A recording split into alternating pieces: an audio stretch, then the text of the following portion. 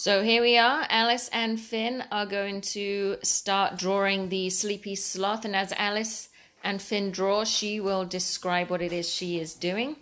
And at the end of the video, I will um, add a link to the PDF with the directions as well. All right, here we go. Uh, hi. I don't know. Um, hi. So, for the first thing, uh, when you're trying to draw the sleepy sloth, all you have to do is... Yeah, I got something on my pencil. Okay, so all you have to do is draw a sort of U shape around the paper.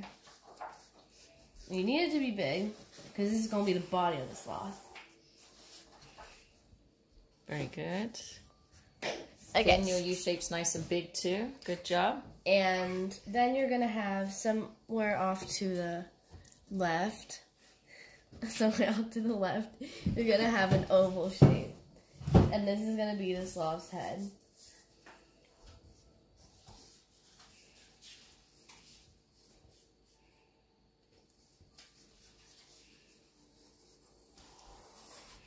And then we're gonna go to this little right here and we're gonna make a little another sort of U shape and that's going to be the arm.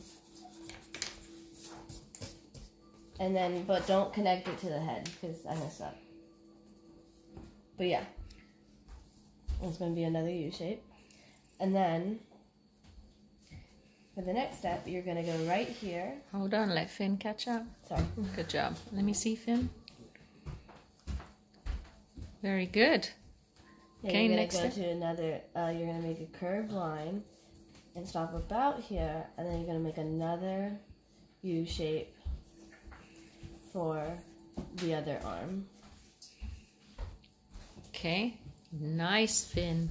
Good yeah, and job. then you're going to go around here, and there's so the body for the sloth. Body. And now you're going to go to the next, you're going to go to this, uh, the end of this you, and you're gonna make another leg. There's a lot of legs. Um, how many legs does a sloth have? Alice? Four. I know how many legs a sloth has. Okay. Good job. and now you're gonna connect. You're gonna go up here, and right after this one, you're gonna make a little U and make another little leg, and connect it to this. That's really nice. Yours is great, Finn too. So there you go, sloth. Okay, and now... Okay, hold on one sec. Can I see it? Nice. Let me see Finn's. Very cool. And now you're gonna make... go right here and make, like, two U shapes. And this is gonna be where the eyes are placed.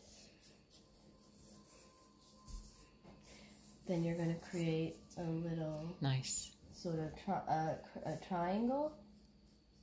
No. And then I always make triangles for noses. And that's how I make my nose. And I got little two nostrils. So if you don't want to do a triangular nose, it can look more like a circle or an oval. Yeah, you can make whatever nose. I just always make a triangle shaped nose. Then you put two circles right right here for their eyes. And you can make a little highlight in the eye. Nice, Finn. Then you're gonna add a smile.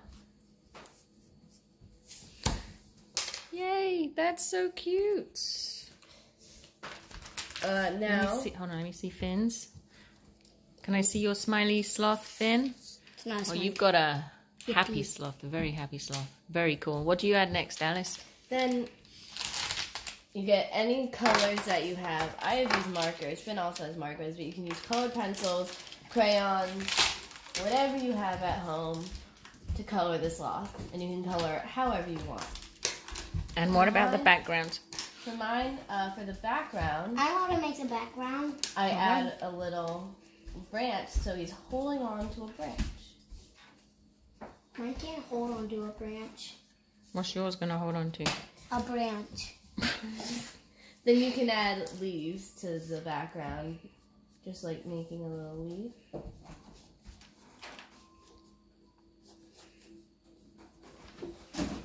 Okay. And little flowers wherever you want.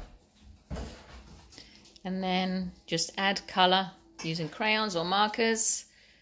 Um, and it's complete. We will show, I will take a picture of their finished project, project